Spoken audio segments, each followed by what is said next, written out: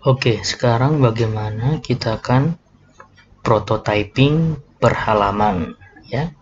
Sebelumnya saya play dulu, saya prototype dulu. Nah, contohnya seperti ini ya.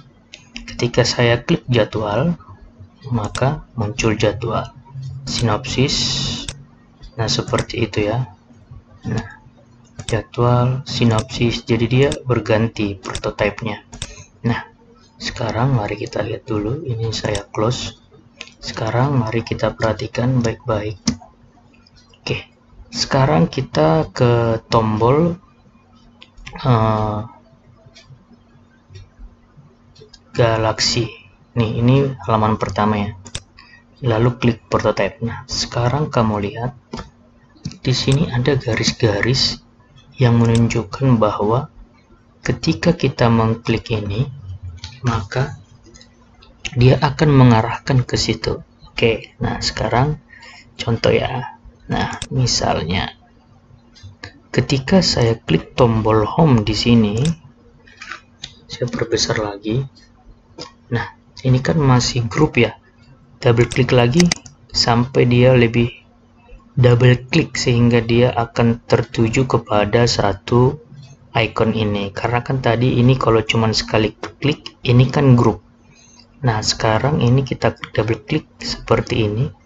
Nanti dia muncul kotak plus seperti ini di sampingnya. Nah ada titik ini kecil plus. Kamu tinggal klik tahan tarik ke arah yang kamu inginkan. Ini saya tahan nih mouse ini. Nah ini kan ribet nih karena nggak bisa kelihatan. Boleh kamu klik uh, apa kontrol sambil scroll ki mousemu seperti ini. Ini mengecil ya. Saya sambil scroll mouse tapi saya tahan kontrol biar mengecil gampang mau ke mana saya arahkan. Nah misalnya saya mau mengarahkan ke sini. Oke ini dia. Maka muncul nanti notif seperti ini. Nah ketika klik triggernya on tap ya on tap terus navigasi ya benar ini destination nah animasinya kita pilih yang smart animasi aja biar lebih keren sedikit. Kamu boleh sih pilih-pilih yang lain kalau saya pilih smart animasi. Oke itu yang pertama. Nah lalu yang kedua sekarang kita pikirkan nih kalau saya ingin pilih jadwal maka ke jadwal. Kalau sinopsis ke sinopsis kan gitu. Lalu berarti untuk home ketika tombol home maka semua tombol home yang udah saya buat desainnya akan saya arahkan ke sini semua ya. Jadi pertama-tama kita fokus ke tombol home dulu. Besarkan lagi klik sekali double klik sampai dia dapat. Berusaha lah sampai dapat. Tombol plus tapi aktifkan dulu prototype kalau desain dia nggak aktif ya. Kamu harus klik prototype baru dia aktif. Oke nah sekarang di sini ada plus di sini ada plus. Jadi dia setiap sudut ada plus tapi klik prototype dulu ya. Nah ini dia klik plus.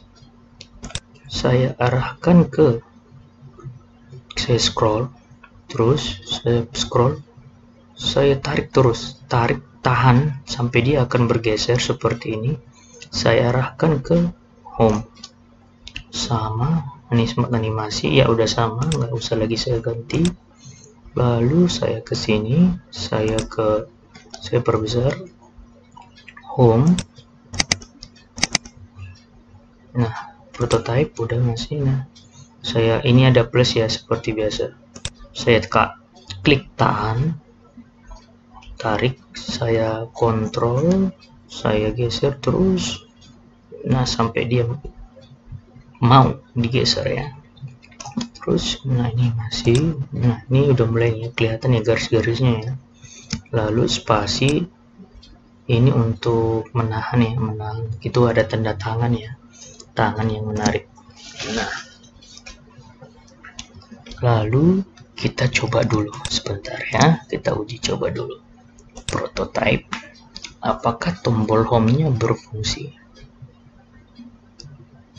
nah mulai dari sini. Tadi kan udah kita coba nih. Sekarang kita ini berhasil berhasil. Kita klik tombol home. Nah dia ke sini. Kembali ke home. Kalau kita pilih tombol galaksi nah berarti dia ke sinopsis. Oke lalu jadwal nah dia langsung ke tombol ke halaman jadwal. Nah seperti itu. Nah cuman kurangnya ini harus di di mana aktif harus tebal ya. Nah ini kan uh, ini ya. Maksudnya ini sebenarnya sinopsis berarti jadwal tebal. Nah seperti itu. Ini ada yang kurang geser berarti. Nih posisinya. Pas ada saat copy paste bagian atasnya kurang pas tapi nggak apa-apa nanti saya perbaiki kamu juga paskan aja ya lurusannya seperti ini. Oke sekarang kita klik jadwal ke tombol home. Nah berhasil ya. Jadi sama seperti ini. Sekarang kita cari tombol. Nah beli tiket. Beli tiket. Oh iya tiket berarti nanti ke nih saya udah tiket nanti ke arah ini tiket ya. Nah ke tiket. Ke tiket ini juga beli tiket juga nanti kita prototype kita arahkan ke halaman sini. Jadi semua dia ke halaman tiket. Sama ini juga sudah smart animasi ya biarkan aja kamu pilih animasinya nanti. Nah sekarang ingat buat prototipenya harus aktif ya Nah, sekarang saya mau ke Nah, misalnya saya mau pilih yang ini. Yang ini, double klik. Ini kan yang udah saya pilih nih. Double klik. Nah, ke grupnya. Kalau nih, kalau sekali klik, maka dia hanya aktif. Yang aktif itu grupnya. Tadi kan kita grup nih berarti dia nanti sekaligus kalau kamu klik sekaligus seperti ini. Nah kita cuma ngambil tombol 12 ini karena ini yang aktif kita buat ya. Jadi seolah-olah kita milih hari Senin lalu jam 12 nah ini seolah-olah nanti yang akan kita bayar. Lalu kita klik 12 double klik saya double klik. Klik lagi plus. Klik tahan. Arahkan ke frame bayar sekarang Nah, nanti dia akan muncul ke animasi ini. Ke ke pemilihan pemilihan layar kursi ya. Nah, beli tiket juga nanti kita buat plusnya bisa nanti kita buat ke sini. Nah, berarti tergantung frame ya. Frame itu beda-beda. Nah, tiket ini poin. Nah, seperti ini. Nah, sekarang tombol akun. Saya double klik akun. Jadi setiap akun nanti akan saya arahkan ke ini, ke profil. Seperti ini ya. Ke profil. Nah, ini home-nya belum. Home-nya ini belum. Home-nya ini belum ya. Sekarang saya mau ke home yang ini dulu. Yang ini aja dulu belum. Nah, ini belum ya. Double klik sampai bisa. Nah, ini udah bisa prototype plus saya masih tahan saya kontrol saya klik masih bertahan klik kiri jari tengah saya jari tengah saya men scroll scroll mouse sampai kecil lalu saya tahan jangan sampai lepas ya kalau lepas bahaya. Nah sekarang ke tombol home. Oke berhasil. Sekarang saya cari lagi tombol home udah ini udah. Nah ini belum. Oh ini udah udah home ya. Oke. Sekarang kita klik bayar sekarang dulu. Bayar sekarang. Nah ini kalau bayar sekarang ini saya buat grup aja ya bergampang. Ini bayar sekarang ini saya grup dulu. Klik kanan grup selection. Saya ganti namanya bayar sekarang Oke. Nah, ini sudah jadi satu kesatuan prototype. Ini plusnya, nanti dia akan saya arahkan ke sini. Nah, ke frame yang ini, tempat pembayaran, metode pembayaran. Nah, lalu ini anggaplah ini sebenarnya harus ada kayak info-info itu ya tapi saya percepat aja satu langkah anggap saja kalau dia klik BCA plus prototype dia berhasil ya lalu mandiri juga plus tarik dia berhasil plus tarik dia berhasil nah ini harusnya ada ini juga biar cepat aja Oke, nah jadi semua tombol ini akan tertuju ke sini seperti itu ya. Pembayaran berhasil. Lalu, uh, nah makanya kamu harus pandai-pandai mengarahkan ke mana yang kamu inginkan. Saya ke tombol home ini belum. Home yang ini belum. Ke home, saya scroll, control, masih ditahan mouse-nya jangan sampai lepas jari tengahmu bermain ke scroll sampai arah tarik terus geser terus lepas kontrolnya tarik terus sampai ke home. Nah jadi lihat nih semua garis tertuju ke dia ya. Nah kalau kamu bisa perhatikan nah sudah banyak garis-garis nih. Nah garis-garis seperti ini ya. Oke kita coba prototyping. Kita buktikan. Oke kita ke home. Ke tiket. Nah langsung ya home. Langsung tiket ke tiket lalu ke beli tiket. Nah langsung ke sini ke home lagi. Ke tiket mau scroll boleh tiket. Lalu anggap pilih tiketnya. Ini tadi yang kita pilih. Kalau ini kan belum kita aktifkan. Klik 12 jam 12 nah ini dia. Anggap sudah dipilih. Lalu kita pilih bayar sekarang nah langsung menuju misalnya kita bayar pakai pay letter ya si, si tukang utang ya play pay letter nah langsung pembayaran berhasil lalu kita mau kembali ke home nah ini nggak berhasil ya belum berhasil karena apa? Karena belum kita prototyping. Berarti kita ke pembayaran berhasil dulu. Kita ke home. Double klik sampai dia nggak. Nah ini.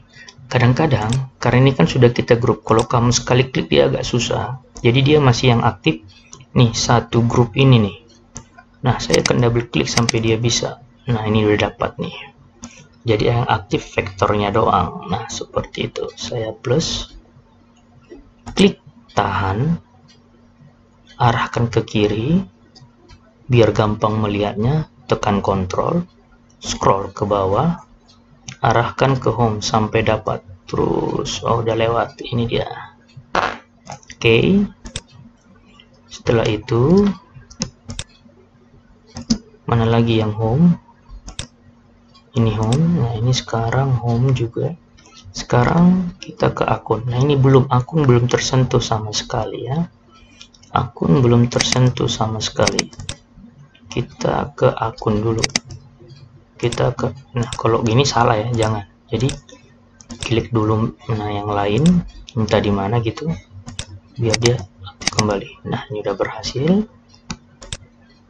Misalnya akun klik. Nah kita tujukan ke akun semua ke sorry ke halaman ini semua. Ke akunnya. Nah sekarang kita coba play lagi ya yang tadi